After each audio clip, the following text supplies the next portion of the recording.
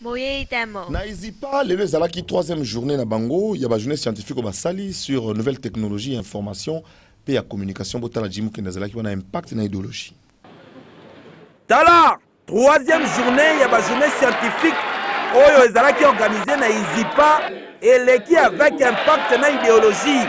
Ambiance oyo bozali komona na kati ya auditoire ezali match ya bale te, kasi ezali ambiance ya science, oyo ezali ko se transmettre entre ba professeurs oyo bauti bisika ndenge na ndenge na ba etudiants ya IZIPA oyo bazali na souci ya koyeba ba nouvelles technologies de l'information et de la communication. PDG Martin Kanda Onyangunga ye moko azalaki na pointe na ba ndeko nyoso po masolo oyo eleka kitoko. Ba etudiants ya IZIPA na suka ya masolo ya lelo balelisaki lokole. retenir plusieurs interventions ya ba batu bawutaki OCC. Oui tellement. Ba faire voir biso ba nouvelles technologies par rapport ya ba entreprises na bango baza ko utiliser. Donc ezalaki journée moko ya mpepi très fort parce qu'il y a eu plusieurs débats par rapport à la journée technologie tozalaki na yango na kati toza ofaire voir comment la nouvelle technologie ndenge nini ekoki koincorpore na badifférentes services service financier service douanier même na baservice mosusu tel que bahospitalisation ndenge nini bakoki koincorpore la nouvelle technologie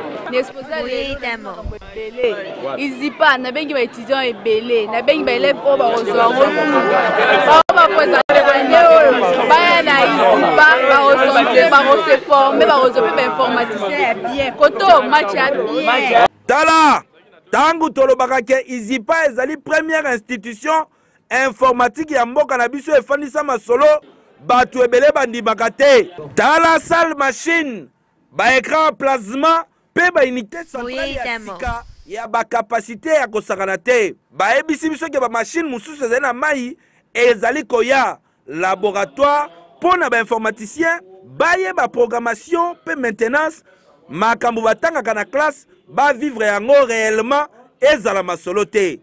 Papa Martin Kanda Onyangunga, servir nation kaka boye, Nzambe akopamolo lisusu. Tondimeli yo. Izipa, match eza très kitoko. Yasa! Boyeyi tembo.